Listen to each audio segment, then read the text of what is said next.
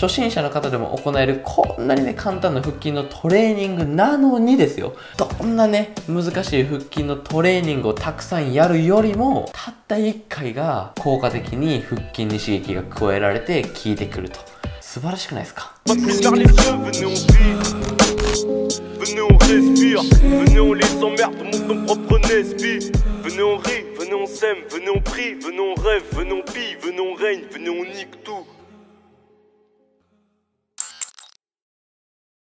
このね、夏に向けて皆さんね、腹筋を割りたいとか、いい体になりたいと思って、今一生懸命筋トレを、うりゃ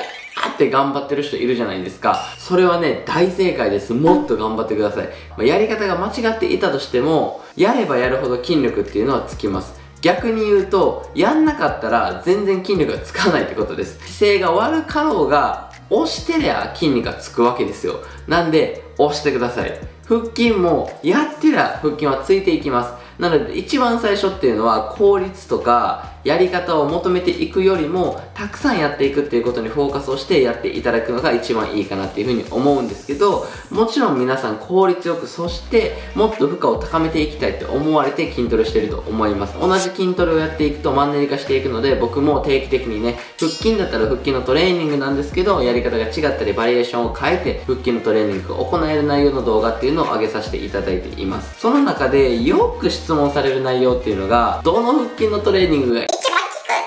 っていう風に言われるんですけど、どの腹筋のやり方が一番効くとかっていうのはないです。効かせたい部位によっては、この腹筋のやり方がいいですよとかっていうような特定の腹筋の方法っていうのはありますけど、腹筋を割りたいっていう大きな目標に関しては、アブローラーだけやってたら割れるよっていうようなことでもないし、クランチのようなトレーニングをやってたら割れるよっていうことでもないです。いろんなバリエーションを使って腹筋に刺激を加えていったり筋肉に刺激を与えていくことによって筋肉は成成長していきます。なので、100回同じトレーニングを繰り返すよりは、1回ずつ高い強度で違うトレーニングを行っていく方が筋肉っていうのは喜びます。ド M なんで。筋肉っていうのは。っていうのが最近よく質問される質問の答えになってくるかなっていうふうに思います。もう一つね多いのがどのぐらいやったら筋肉つきますかっていう質問がめちゃめちゃきます。わかりませんそんなことは。個人差がありますし自分がどれだけね腹筋に対してストイックに努力できたかっていうようなことも関係してくるのでやってくださいと。割れるまで頑張ってください。割りたいんだったら割れるまで腹筋を続けてください。食事も制限してくださいっていうような形でやっていくしか腹筋を割っていく方法っていうのがないと思います。ます。でもですよこの一つ一つのバリエーションをとっていくと正しい姿勢だったり呼吸の使い方そして正しいやり方で行っていくことで負荷を高めていくことができます。なので今回はクランチ。このクランチの腹筋のやり方に特化してレクチャーしていきたいなっていうふうに思います。一度ね僕と一緒に行ってみてください。それではね教えていきます。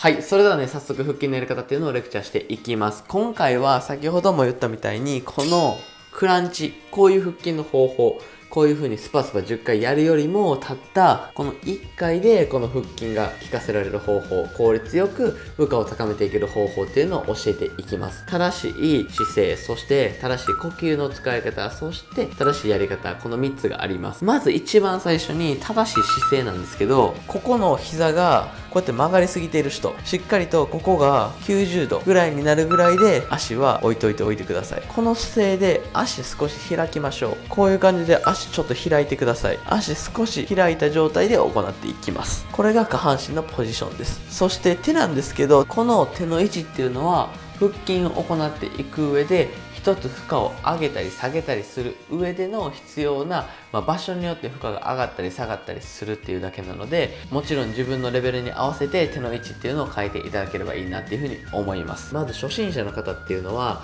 タオルか何か使っていただいてこういうねタオルでいいですから手がねなかなか難しい方っていうのは膝の後ろに置いて自分でこうやって引いていくと。そして首の後ろにタオルを置いて自分の手の力も使いながらここで上げていくと。こういう形でやっていきましょう。このねいろんなポジションっていうのを理解した上で呼吸です次は。どういう呼吸をすればいいのか。ゆっくりね吐き切ってください頭の後ろに手を置いてここからふーうで吐き切って吸いながら戻すと大体ね10秒ぐらいです。なので10秒間かけてあげて10秒間かけて下ろしていく。これが今回教えたかったポイントなんですけどこういう形でやってください。もう1回だけでね相当きついです。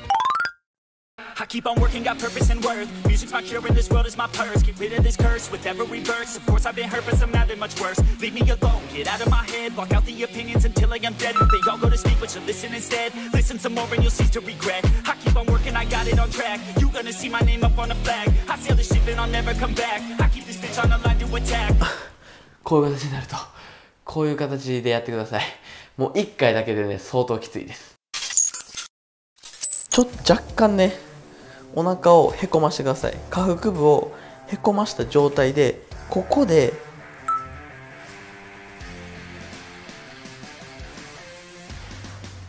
上げていくと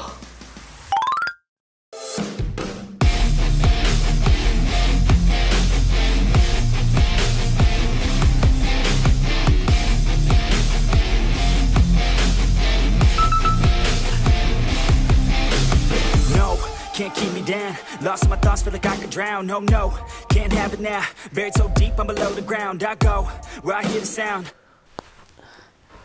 これだけです本当に正直ですけどどんな腹筋のトレーニングをやるよりもきつい自信があります初心者の方でも行えるこんなにね簡単な腹筋のトレーニングなのにですよなのにどんなね難しい腹筋のトレーニングをたくさんやるよりもたった1回が効果的に腹筋に刺激が加えられて効いてくると。素晴らしくないですか？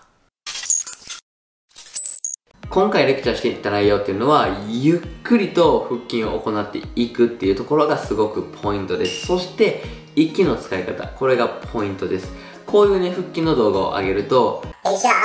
俺も今日から腹筋1回だけしかせえへんから。これで腹筋割れるんやな。そういうことではなくてその正しいやり方で1回やるとスパスパ10回やるよりも効果的負荷が高いだけです。なのでその正しいやり方で10回20回できるように頑張ってください。僕も正直今のやり方でやったら10回はできないぐらいきついです。正しい姿勢で正しいやり方でできるように皆さん心がけてやってみてください。それではねえー今回はこれで終わっていきたいと思います。またね次回の動画ではいろいろね腹筋のバリエーションがある中でどの腹筋が一番あなたの腹筋にドカーンと効果的に効いてきて筋肥大が一番するのかっていう腹筋をご紹介していきたいと思います。皆さんもぜひねまた次回の動画、えー楽しみに待っててください。それでは今回はこれで終わっていきたいと思います。また次回の動画でお会いしましょう。さよなら。